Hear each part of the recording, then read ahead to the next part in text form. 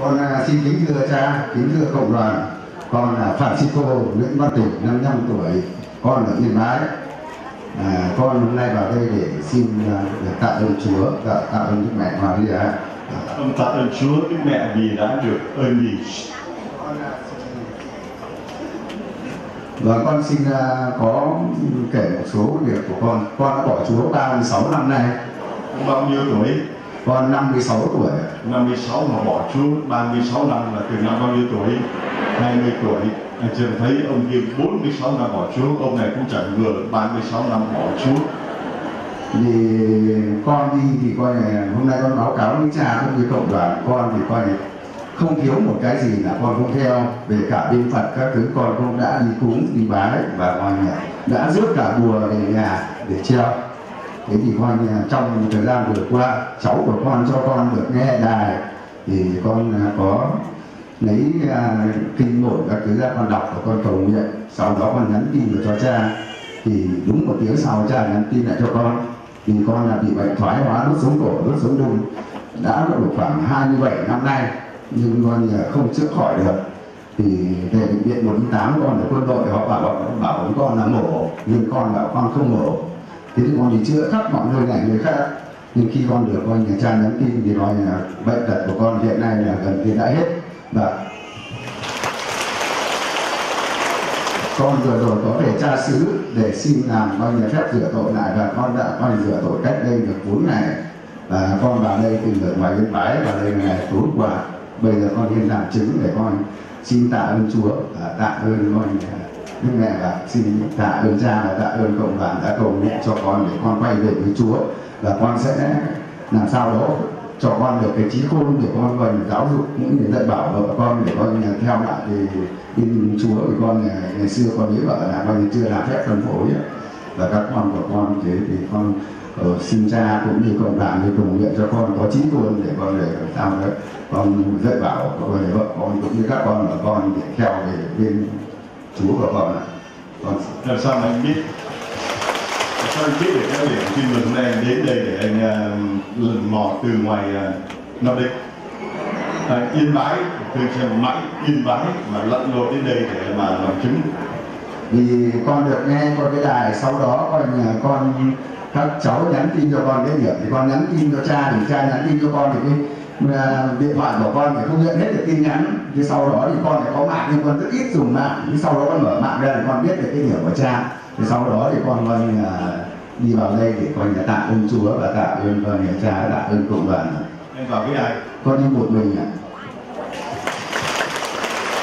Thưa chị em, một con người mà 26 năm bỏ Chúa, 36 năm bỏ Chúa, lặn lội từ Yên Bái vào đây để làm chứng cho lòng thương xót Chúa là Chúa đã chữa lành.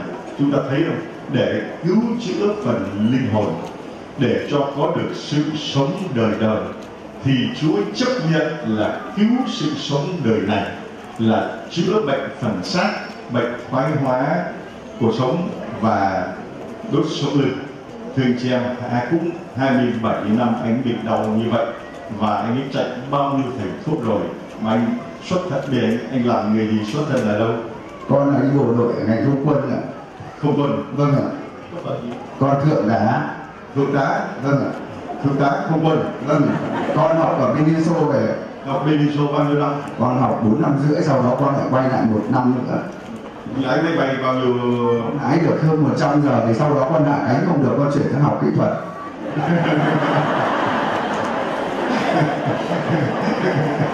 lái này không lại tránh xuống được à thì con hạ cánh nó cứ bập bõm trong đó thì coi như là con chuyển xuống học kỹ thuật.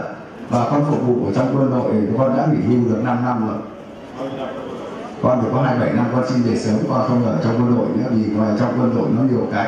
Anh chị em, một thượng tá không quân đang ở trước mặt chúng ta 26 năm bỏ Chúa, 27 năm trong quân đội hay 36 năm bỏ Chúa, 27 năm trong quân đội Một người mà học bên Liên 4 năm về không quân Cuối cùng lái được 100 giờ, lái nó bay nó không xuống nữa.